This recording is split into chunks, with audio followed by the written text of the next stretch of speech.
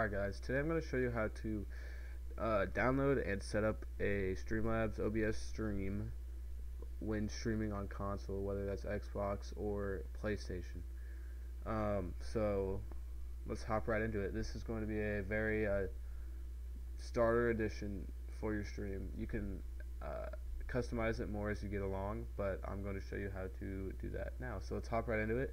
The first thing you're going to want to do is go to Google and you're going to want to type in Streamlabs OBS. Alright, so it loads up. You go right here, the first one, Streamlabs OBS. Now it's going to bring this page to you. You're going to click Login, and I'm already logged in, so I'm going to log out and show you what you'll see. You will see Login, uh, log in with Twitch. I stream on Twitch. If you stream on YouTube, go ahead, and log into YouTube, but I stream on Twitch. You're going to click this big green download Streamlabs OBS button. Now this is the button to actually download the software on your computer. Uh, can't miss it. So once you download it, uh, you open it up. I have mine open up uh, right here.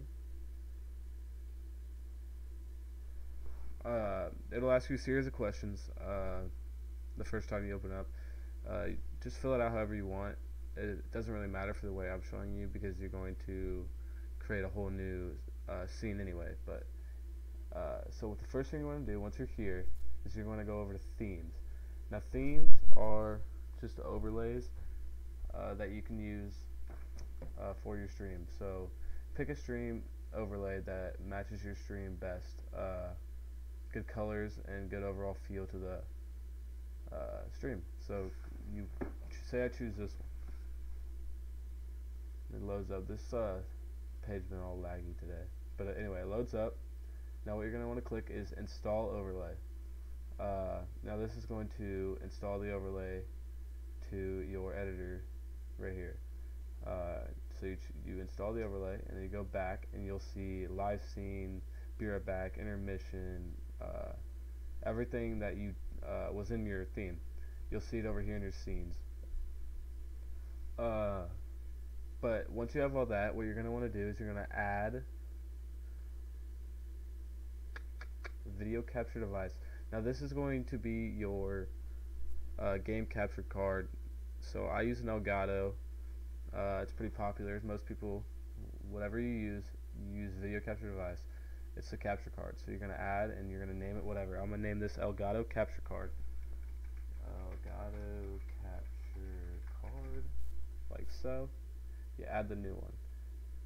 Now, you have two choices here if you have a webcam. I don't have a, a webcam hooked up to my uh, PC right now, but if you did, you would choose, you'd have two choices since they're both video capture device options. Uh, choose the Elgato Game Capture for now, and then it pops up like so. You add the source, and now I'm going to, now you see, everything you see is my PlayStation.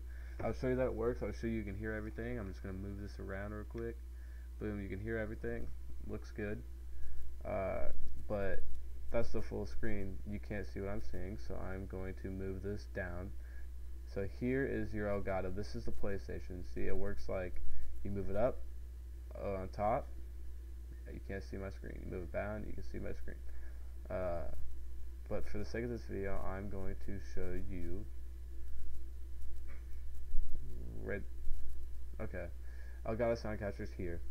Now let's say so these would be your uh, chat box your uh, everything that you downloaded in your scene through the theme. So chat box alert box uh, webcam webcam frame all that fun stuff is going to be here in your sources but for the stream you're going to want to put it at the very bottom. Because uh, you want all this stuff on top you just can't see because boom boom boom moves like that right? It works like a blanket. Alright now so uh, if you want to add something say you want to add a sub goal to your stream. Now your stream is probably obviously looking a lot different a lot better with all the webcams and everything. You're going to want to go to add add sub goal add new uh, Alright, I already have one set, so I'm just going to use this same one.